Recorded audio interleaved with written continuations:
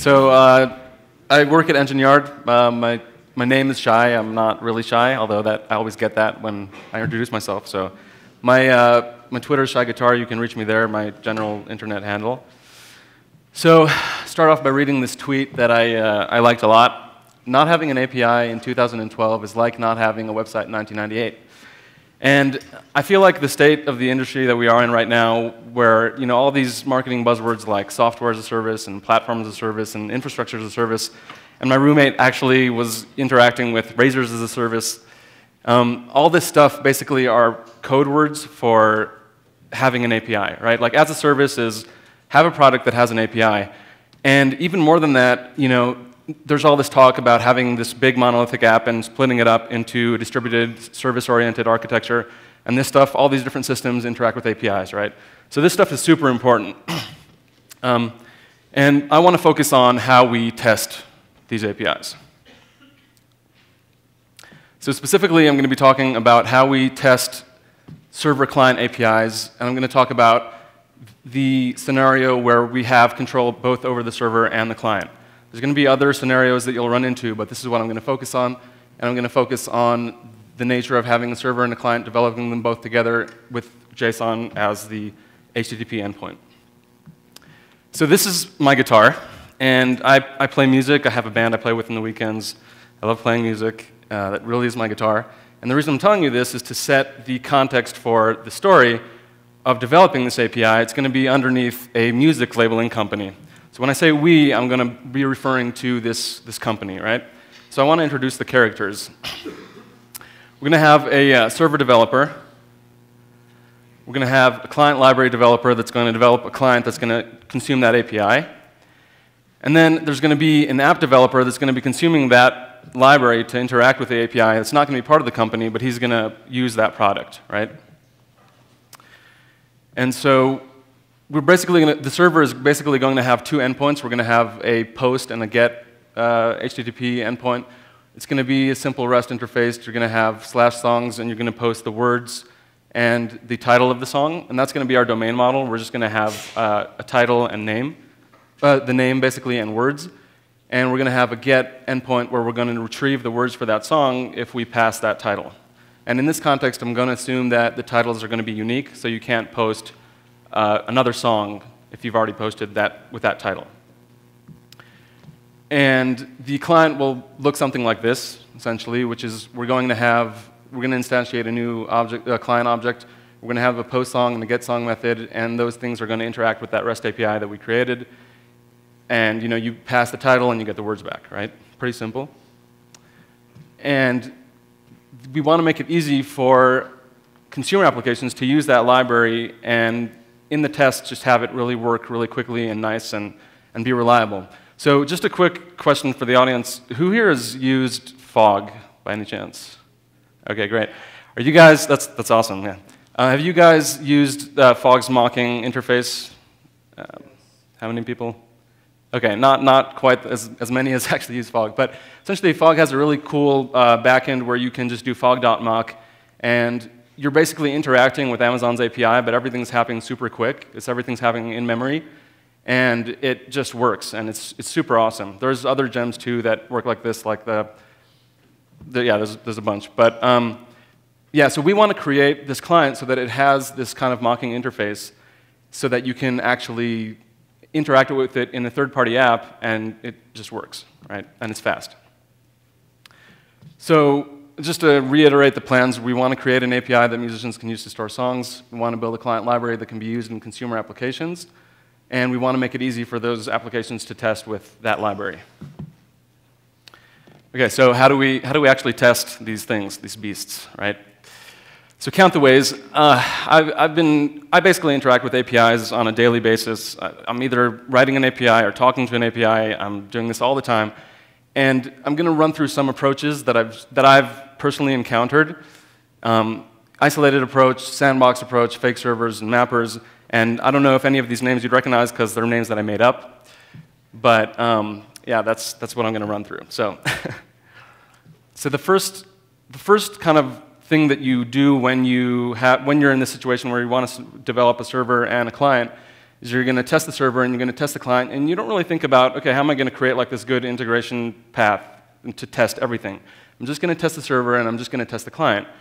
And you'll end up, you basically have something like this where the server, for really you know, simplified demonstration purpose, you would have this post, right? You'd have like a create method where you would basically take in the parameters of the, the title, stored in the database, and then you know, return some JSON saying that you you know, you got it, you got it okay. I mean, we could make this a little more restful by you know, having the right status code and stuff like that, but this is trying to really simplify it here. And then we would have that post, or I'm sorry, that would be the post, and then we would have this get uh, endpoint where we would do the same thing, right? And we would basically get the name parameter, get the song from the database, render back JSON, render the words back, and that would be how our server looks like. And the way that our test would look like would be essentially using, this is using test unit, and we would essentially use something like rack test, um, talk to that you know, endpoint, make sure that uh, the behavior of the server is what we expected. We get the words back if we post those words initially with, you know, with, that, with that same uh, REST interface. And then the client would look similar to, the, similar to the server. We would have that get song, which talks to that get REST endpoint, um, and then we would parse that JSON we got back, get the words, and that, that's what the client would look like, right? And in the test, we would do the same thing. We would assert that we post the song with a specific title and words, and then we assert that we get that back, right? And we get the same words back. All nice and dandy so far, except for the setup for the client, we're going to actually need to mock out the server, right? Because we're not, we're not actually talking to the server, we're mocking it out. We could use uh, WebMock, which is different talks have referred to that. Um, I think it's pretty famous. Fake Web is pretty famous. But all these things essentially are doing the, the one thing that is, we'll see, not so great because we're mocking out the server. We don't actually know that if the server changes, the client tests are going to pass because we've mocked out the server, but essentially it's green and it's not working, right? And this, these are non-representative tests. It's, it's not a good scenario, right? Like what could end up happening is they, the server guy completes his work, the client guy uh, completes his work, they ship it off, and this musician tries to interact with the client. The server guy changes something in the back end, and then the client breaks, but the client developer doesn't know that anything happened because his test still passed. He gets a call back from the musician guy, and he's like, uh, starting yelling at him, like, oh, you know, my business is down, what's going on, blah, blah, blah, and he gets really sad, right? so that's, that's no good. Um, and so instead of relying on mocking it out, let's say, okay, well, let's actually put, a, put up a real server somewhere, call it a sandbox, and we're going to actually run those client tests against the sandbox, right? And so that way we can have this full representation of what's happening, and we know that, that uh, the client tests are actually talking to the real server. And the server development is still the same, but we're actually talking to the server, and this is good, right? Um, we would essentially set a domain in the, in the tests and do the same assertions that we decided to do beforehand. We would assert we get the words back if we use that client interface. And we're basically talking to that sandbox, and we actually get the words back from the real server that we're talking to, right? And this is good. Because if the server API changes, the client tests are going to break. This is good, right? This is good integration. So there's a few problems with this, and that is that setting up a sandbox takes time, right? You can use things like Heroku, and you can use things like Engine Yard, and you can even set up your, your server locally and, and run it against that, but this takes time, and it kind of steps in your way. It's, it's, not, it's not an ideal thing. Um, and also, you need to make sure that the server that you're running against has the latest release, right? This is not a big deal. You can automate this, but it's still annoying, right? You don't have this quick feedback you know, iteration, writing your test, and, and getting everything back. But what's really annoying here is that you're actually, because this is a good kind of integration test, right? You're doing the whole thing. It takes a lot of time because you're traversing like the whole network stack. You're talking, you're, you're doing JSON, you're parsing it, you're sending it back, you're doing everything, which is good, but it's slow. And when you're writing tests uh, and you want to actually develop the client, you know, it's not fast. And good tests are fast, right? You want to actually have this quick feedback and iteration that you work on, and that's not good.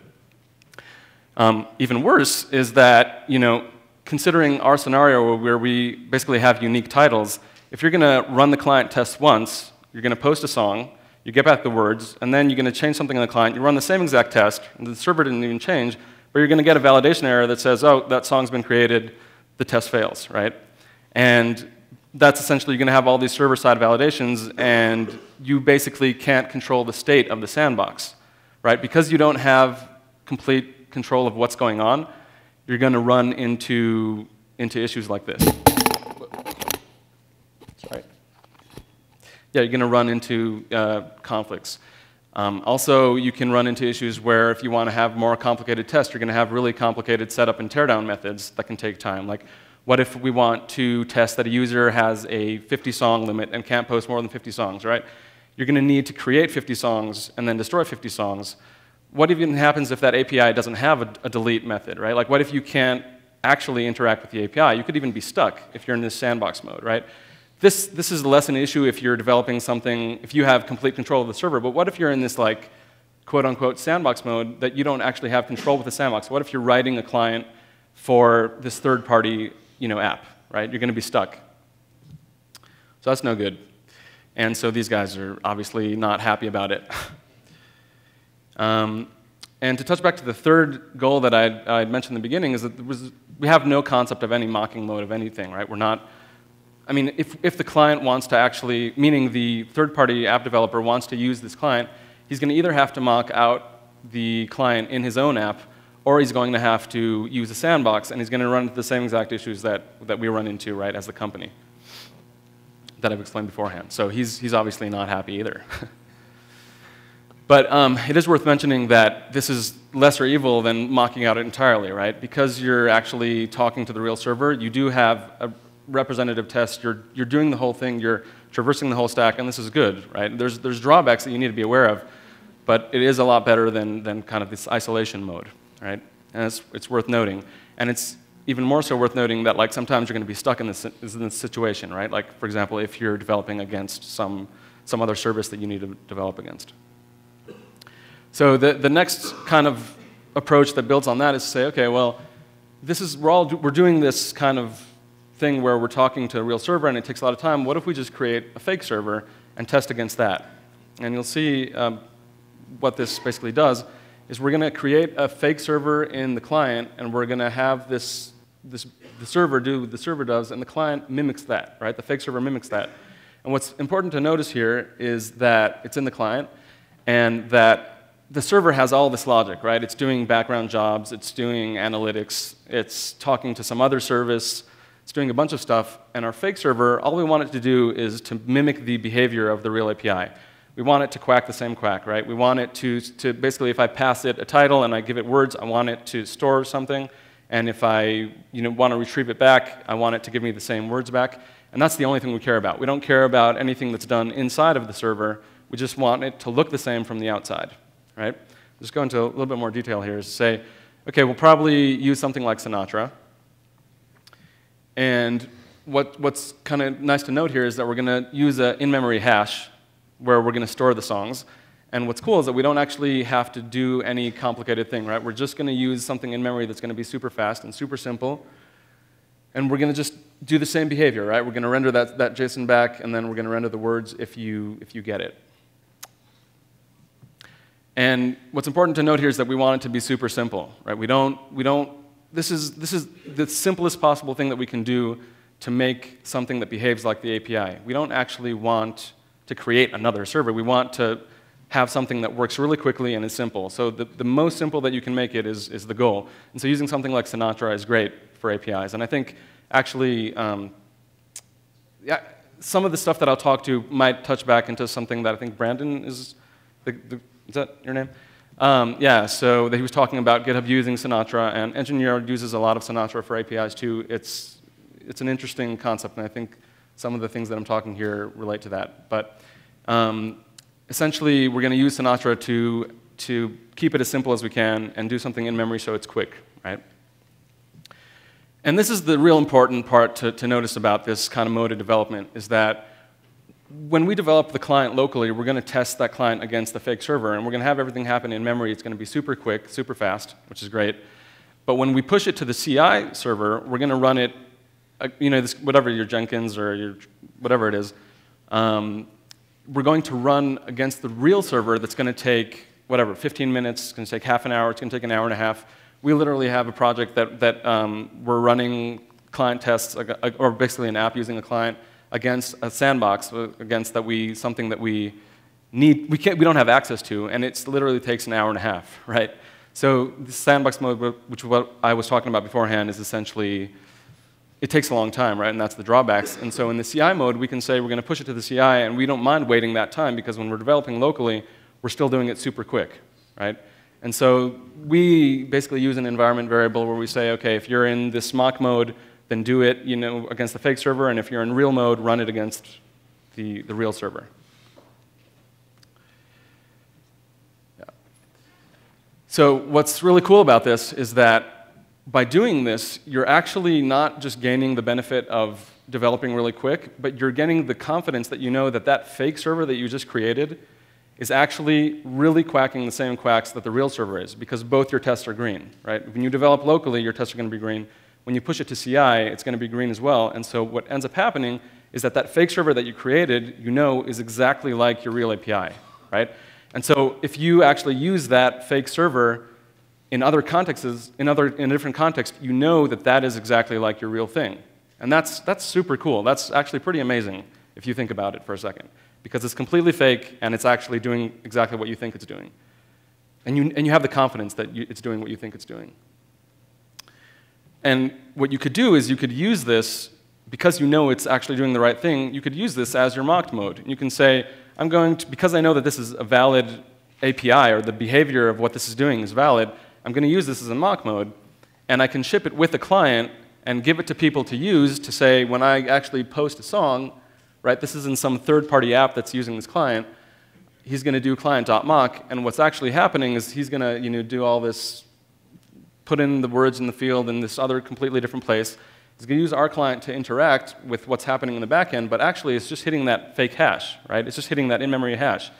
And what's cool is that even though this is happening and it's running against something fake, it's actually confirmed to be exactly what's running on the server because we've run it twice. We've run it in the, in the CI mode and we've run it locally, and both of the times it's green, right? Whether it's mocked or not. So I want to actually say that I lied a little bit because in sandbox mode, you do have a way that you could create something like a mock mode. And this is something that a, a coworker of mine um, has been working on recently called Cistern. And it's basically taking a lot of the logic from Fog, and instead of creating a fake application, you mimic the responses that the API returns, and Cistern gives you basically a framework for writing client code where you can kind of just do this. And if you guys are not aware of Cistern, which I assume you're not because it's pretty new, um, you, should, you should definitely check it out. Um, there's not a lot of documentation, but the code is pretty straightforward, and there's some gems using it where you could check out.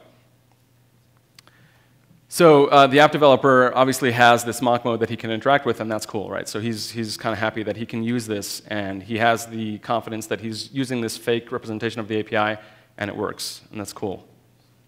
Server developer guy is always happy, because he has the least amount of work to do, really. uh, the one thing to note about this approach is that it, it's a little more cumbersome because you need to, because you're writing two APIs, you need to maintain both of them, right? So if you want to make a server-side change, you're going to need to actually maintain that in the fake application, right? And so the server guy and the client guy has to maintain that fake application, so he has a little bit more work he has to do. Um, yeah, so, so essentially the, the next kind of approach to that is something that I call the, or we call the, the mapper style. This is something that I've only seen happen at Engine Yard. Um, I don't actually necessarily think that this is something that should go into production but it's an interesting kind of thought experience. Um, we have used it and it does work, but there are, there are certain drawback, I mean downsides, um, and it's a little convoluted. The idea here is to say, okay, we're going to have the fake application, we have the real application, and both of those have API endpoints. What if we just share more code and say we're only going to have one place where we have API definitions, and we're just going to map out the implementation. We're going to say this is in fake mode, this is in real mode, we're going to create some module that has those behaviors, but we're only going to have the API definitions in one place, right? So we'll create one repository that holds the post and, go, the post and get definitions. We'll have a client interface, and we'll have the fake mapper, which is that fake implementation of what's happening, all in one repository. And those uh, modules basically map between, okay, are we in real mode or are we in fake mode? So the, the repository would look kind of like this, right?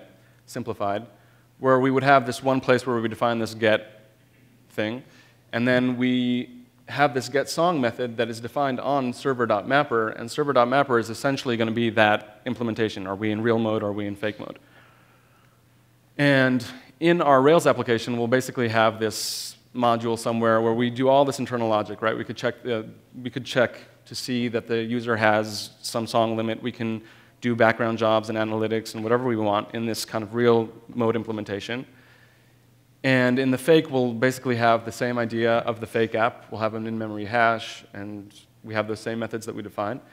And we, what we end up doing is use that one repository where we have those API endpoints that we've defined, and we mount them using Rack, because you can mount Rack applications on top of each other. We'll use that to put it in our Rails application. So we could essentially just do, OK, server.mapper equals our real implementation, and mount it in this path. And then what ends up happening is that when you do you know, slash API slash get song, you're going to have those endpoints that you're talking to, right? And so this is pretty cool. They're just always happy. um, and consumer applications can still use this kind of fake idea, right? They can still use this fake mode, the fake implementation, which is essentially doing the very same thing, right? It's doing server.mapper equals the fake implementation, and then run it, and then what ends up happening is they can use their test to run, and they'll basically run against this in-memory hash. Same exact idea like the fake thing, right? And so we can have fixtures, and we have this mock mode that we can ship, which is cool, and this guy's happy. It's a nice smile, I think, too. um, so yeah, we have full integration, and there's it's a little bit more dry. This approach is a little more dry, right? Um, so the the issue here is that you need specific libraries to do this. Namely, Faraday and Rack Client are two good HTTP client libraries that enable you to redirect traffic to Rack applications. So what ends up happening is that you can say, if you're going to this, this domain, instead of actually using NetHTTP, use this Rack app. Um, and those are the only two, I think, that can do it. And so this specific, this specific approach requires one of those two. But what's a little more annoying is that when I started and I saw this pattern in some of Engine Yard's Systems, it was, it was really confusing. I did not understand what was going on. I looked for this specific URL in the Rails app, and I can't find it. And it's in some completely different repository. You have to start digging through all this code and understanding it. And if you don't really understand the concepts of what's going on, it's, it's confusing, right? And it can be hard to maintain. So this is a tech talk, so I put a cat in there. And maybe this is the way your brain is responding, maybe not, hopefully not, because there's a lot of information, a lot of ground I covered, so uh, I hope that, that this has been useful. I'm going to run through some conclusions, though. Uh, APIs are the foundation of distributed systems, right? This is, this is the origin of my tweet, why I think this is a really important thing to kind of grasp, right? And it's, it's interesting thing to do because, like you've seen, there's a lot of different ways you can approach this, and each has drawbacks and each has problems, and some of it is good, some of it is not. And, and quite frankly, sometimes you'll be stuck in a certain approach too. You won't really have the leverage to do things. I was talking in a mode where we were developing server and the client, but sometimes you'll be stuck just developing this, the client. Sometimes you'll be stuck just developing the server because your managers don't, don't want to give you time to work on a client. Sometimes you'll just be this third-party guy using a client, right? And you have to decide if you want to mock it out or if you use Sandbox or if you use a good client that has a mocking mode, things like that. So these are some of the approaches that I've seen. I'm sure there are other approaches you could use to test APIs, and I'd be super interested to hear your experience with it. It's, it's, it's a really interesting subject. I'm kind of passionate about it, and I'd be super happy if you guys uh, tell me about your experience. Um, but there's one thing that I would personally like for you to take from this talk is that having this notion of this validated fake representation of your API is great for local client development, and it's also great for using it in some third-party app that uses that client, right? It's, it's just useful. So I have examples of all these different approaches in this repository. I'll uh, tweet the slides when I'm done so you guys can just follow the link every one of those approaches has working examples and a tested mode, and you can kind of go and see what's going on code-wise. I'd like to say thank you to Jacob, who's Beanstalk Surf. Uh, we both actually were working on this add-on program that Engine Yard provides, and we ran into a lot of these things, and uh, much of this talk came out of work on that project. Some gems that I had talked about, Rack Client, Faraday, Fake Web, Real Web Sinatra Cistern, something that you should check out. And uh, this other talk that talks about toggle toggable mocks, which is very similar to what I had mentioned about this kind of like fog mock mode. So you can see that. This is just happiness, and uh, yeah, thank you.